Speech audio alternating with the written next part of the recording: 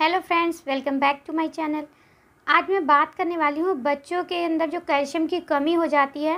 तो आप किस तरह से पता लगा सकती हैं क्या क्या सिम्टम्स होते हैं, कौन से ऐसे लक्षण हैं जिससे आप पता लगा लेंगे कि आपके बच्चे में कैल्शियम की कमी तो नहीं है? क्योंकि अगर बच्चों में कैल्शियम की कमी होगी तो उनको बहुत सारे नुकसान हो सकते हैं। तो इसलिए अगर आपको ये चीज़ें पता होंगी तो आपको आसानी होगी और आप कैल्शियम की कमी दूर करके अपने बच्चे की वो परेशानी दूर कर सकती हैं। तो सबसे पहले मैं बात करती हूँ बच्चों में कैल्शियम की कमी के जो लक्षण होते हैं उनके बारे में, जिससे आप पता लगा लेंगे कि आपके बच्चे में कैल्शियम की कमी तो नहीं है। और फिर मैं आगे बात करूँगी कि आपको अपने बच्चे को क्या देना है जिससे कैल्शियम की कमी पूरी तरह से दूर हो जाए। और उम्मीद करती हूँ ये वीडियो आपको पसंद आएगा, वीडियो अच्छा लगेगा तो प्लीज़ लाइक करिएगा और इसको शेयर भी करिएगा और चैनल को सब्सक्राइब कर लीजिएगा अगर अभी तक नहीं किया है तो। अगर बच्चे में कैल्शियम की कमी है तो ऐसा हो सकता है कि जब बच्चा रात में सोए तो उसके सिर पर, माथे पर काफ़ी ज़्यादा पसीना आए। ये एक लक्षण है कि कैल्शियम की कमी हो सकती है। अगर बच्चे में कैल्शियम की कमी है तो रात में सोते टाइम उसको काफ़ी ज़्यादा पसीना उसके सिर पर आ सकता है। और जो दूसरा लक्षण है, वो ये है कि बच्चे में भूख की कमी हो जाती है। बच्चे को भूख कम लगती है। आपको लगेगा कि मेरा बच्चा खाना क्यों नहीं खा रहा, उसका पेट ख़राब है, कुछ समझ में नहीं आ रहा है। तो ये कैल्शियम की कमी की भी वजह से हो जाता है। और अगर बच्चे में कैल्शियम की कमी है तो बच्चा बहुत ज़्यादा चिड़चिड़ा भी हो सकता है। ऐसा हो सकता है कि आपका बच्चा हर छोटी छोटी बात पे बहुत ज़्यादा चिड़चिड़ाए, बहुत गुस्सा करे, इस तरह से बच्चा रिएक्ट कर सकता है। तो ये कैल्शियम की कमी की वजह से भी हो सकता है। और बच्चा अगर दांत निकलने के स्टेज में है उस एज में है कि उसके अब टीथिंग पीरियड शुरू हुए हैं तो हो सकता है अगर कैल्शियम की कमी है तो बच्चे के दांत लेट से निकले या उसके दांत निकलने में काफ़ी दिक्कत हो। तो ये चीज़ें अगर बच्चे में कैल्शियम की कमी है तो हो सकती है। और बच्चा अगर आपका आठवें नवें महीने में है आ, ये है कि बच्चा खड़े होने की स्टेज में है या आप चलने की स्टेज में तो हो सकता है बच्चा देर से चले। अगर बच्चे में कैल्शियम की कमी है तो उसकी हड्डियाँ जो है वो कमज़ोर हो सकती हैं। उतनी ज़्यादा मज़बूत नहीं होंगी कि बच्चा जल्दी से चलने लगे उसके चलने में भी देरी हो सकती है। ये भी कैल्शियम की कमी होने का ही एक लक्षण है। और बच्चे में पैर दर्द की भी शिकायत हो सकती है।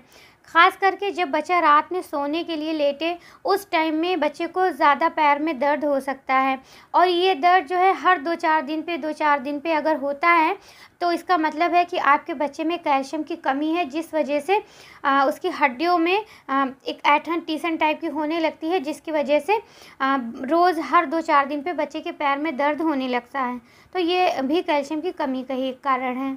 और अगर बच्चे में कैल्शियम की कमी है तो आपके बच्चे की इम्यूनिटी भी वीक हो सकती है और इसकी वजह से बच्चा बार बार बीमार पड़ेगा क्योंकि बच्चे की रोग प्रतिरोधक क्षमता उतनी नहीं है जितनी होनी चाहिए। तो इस वजह से बच्चा बहुत जल्दी बीमारी की चपेट में आएगा जल्दी जल्दी बीमार होगा, काफ़ी कमज़ोर सा लगेगा। तो ये कुछ लक्षण थे जो मैंने बताए। अगर इस तरह का कोई भी लक्षण आपके बच्चे में दिख रहा है तो हो सकता है शायद बच्चे में कैल्शियम की कमी हो। कैल्शियम की कमी से बच्चों में बहुत सारे नुकसान हो सकते हैं। बच्चे की ग्रोथ सही से नहीं होगी, बच्चे की हड्डियों का विकास अच्छा नहीं होगा तो इससे बच्चे के डेवलपमेंट में बहुत असर पड़ेगा। तो इस वजह से अब मैं आगे बता रही हूँ कि आपको कैल्शियम की कमी दूर करने के लिए बच्चे को क्या क्या चीज़ें खिलानी चाहिए। आपको सबसे पहले डेयरी प्रोडक्ट पे ध्यान देना है। आप बच्चे को दूध ज़रूर दें, क्योंकि कुछ कभी कभी ऐसा होता है कि बच्चे जैसे ही एक दो साल वे ब्रेस्ट फ़ीड करना उन्होंने छोड़ा तो वो दूध बिल्कुल ही बंद कर देते हैं। तो ऐसे में आपको कोशिश करनी कि बच्चे को दूध पिलाएँ।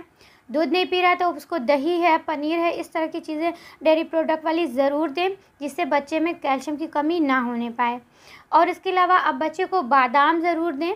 बादाम में बहुत ही अच्छी मात्रा में कैल्शियम होता है। अगर आप डेली बच्चे की डाइट में शामिल करती हैं तो उसमें कैल्शियम की कमी नहीं होगी। और आप बच्चे को ऑरेंज दे सकती हैं या ऑरेंज का जूस दे सकती हैं, इसमें भी कैल्शियम होता है। और ये बहुत अच्छा रहेगा बच्चे के लिए, इससे बच्चे की इम्यूनिटी भी स्ट्रॉन्ग होगी और कैल्शियम की कमी भी नहीं होने पाएगी।